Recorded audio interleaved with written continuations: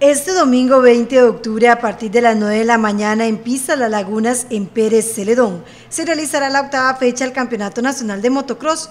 Los pilotos Justin Alvarado y Roberto Castro continuarán en la disputa del título nacional en la categoría MX1. Ambos coinciden en que este trazado es uno de los mejores de Costa Rica y apuntan a las condiciones del clima como factores muy importantes a tomar en cuenta durante la prueba. Sí, creo que hay que prepararnos más que nunca, la verdad, ya que eh, vamos eh, en, liderando la categoría, creo, este, y ahora a seguirle poniendo y a enfrentar las otras dos, dos carreras pues, de la mejor manera.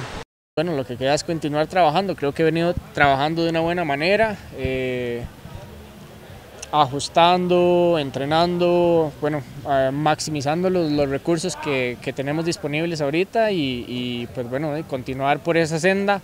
Eh, relajarme un poco, más bien, y, pues bueno, de que sea lo que sea. Al final creo que mientras que uno dé su, mejor esfuerzo, pues de, eso, eso nos deja tranquilos.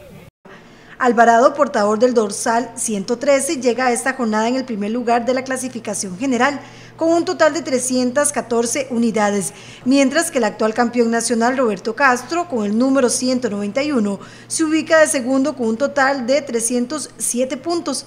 A falta de dos fechas para el final del certamen, siempre es importante anotar la regla de eliminación de los peores hits de cada piloto en el año. Aplicando esta regla con los puntajes actuales y de manera extraoficial, Alvarado cuenta con 278 unidades, mientras que Castro tiene solo tres puntos menos. La lucha entre ambos será más que interesante, pero no se puede dejar de lado otros pilotos con gran suceso en esta división. Esta actividad es organizada por la Asociación Motoclub con el aval de la Federación de Motociclismo Costarricense.